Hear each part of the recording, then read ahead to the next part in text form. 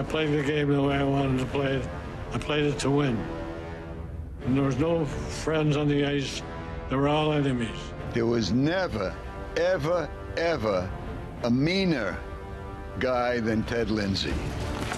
He was a great competitor, probably too tough a competitor because if there is such a thing, because winning was everything with Teddy. He'd uh, do anything you had to.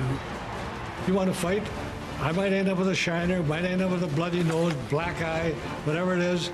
i will take you on anytime you want to go. At 5 foot 8 inches, terrible Ted Lindsay was not afraid of anyone. He broke into the NHL in 1944 with the Detroit Red Wings. The son of former NHL goaltender Bert Lindsay, he rose to prominence on the famed production line, playing alongside Sid Abel and Gordie Howe. He was my protector to a degree. If anybody trying to get me, he'd yell and enter into the fray. Though he was known for his aggressive style, Lindsay also left a mark on the score sheet.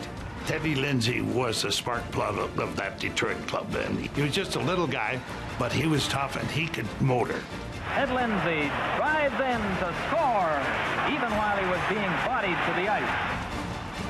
There's no one could skate any better than Ted Lindsay. We had a uh, possession of going, and when you're going in, and it fired off a board because it comes directly back out. A shot and a rebound to Lindsay, who scores to get Detroit the lead. Ted Lindsay, leading scorer in the National League. He won the Art Ross Trophy in 1949-50, leading the Red Wings to a Stanley Cup victory that season, when he became the first player to hoist the cup and skate with it. I just saw the cup sitting there, so I just went over and picked it up, and I took it to the people on the boards, went around the boards, I wasn't starting a tradition. I was taking care of my fans. The Red Wings won the Cup again in 1952, and with Lindsay as their captain, they won back-to-back Cups in 1954 and 55, making him a four-time Stanley Cup champion. All those guys from Detroit were great, but Lindsay was the leader, and he was also the leader off the ice because he knew the players weren't being treated as well as they should be. Ted Lindsay was a pioneer in establishing the NHL Players Association. Jack Adams was going to have none of that, and he shipped Lindsay off to Chicago. He was so good for Chicago. He really set the standard of how, how we should be playing. Lindsay played three seasons in Chicago before retiring in 1960.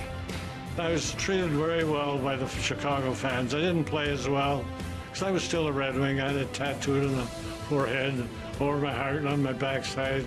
His love of the Red Wings drew him out of retirement for the 1964-65 season, when he helped the team finish atop the league standings for the first time in eight years. After the season, Lindsay retired for good as a Detroit Red Wing. His legacy lives on through the Ted Lindsay Award, the trophy given out to the most outstanding player in the regular season as voted by the players. You know, to win an award that's associated with the name Ted Lindsay is an honor in itself. I never dreamed of playing in the National Hockey League. I, I played hockey because I loved it. I only did what I wanted to do.